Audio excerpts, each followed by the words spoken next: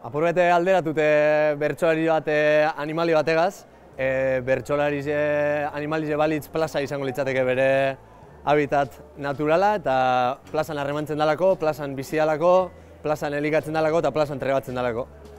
Eta beraz, espezie horrek aurrera jarraitu izateko beharrezkoa da ekosistema horren mantentzio. Zorionez, ekosistema hori bermatute dau, gune babestu bat da gure herri zen, naiz eta tamalez e, guztientzako eta batez be gaztientzako lekurik ez egoten e, askotan, eta bertan egonez gero biziraupena ez da egoten bermatute bertsoari jentzako normalian.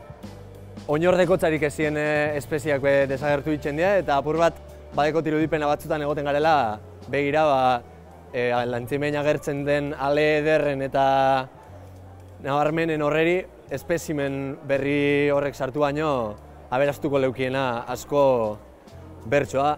Inoiz baino kantaera, joera, aldarrikapen eta ahots desberdinak dauzen garai honetan eta borroka zarrakastu barik berri eta beharrezkoak sartzen dien garai honetan e, oso aberazgarri izango litzatekelako espezimen guzti horrek sartzia. Hasi jaialdi zek dien iparpolotik eta oianeko tropikoko bertso poteoetara, guztizenak dielako plaza horrek eta guztizentzako dielako.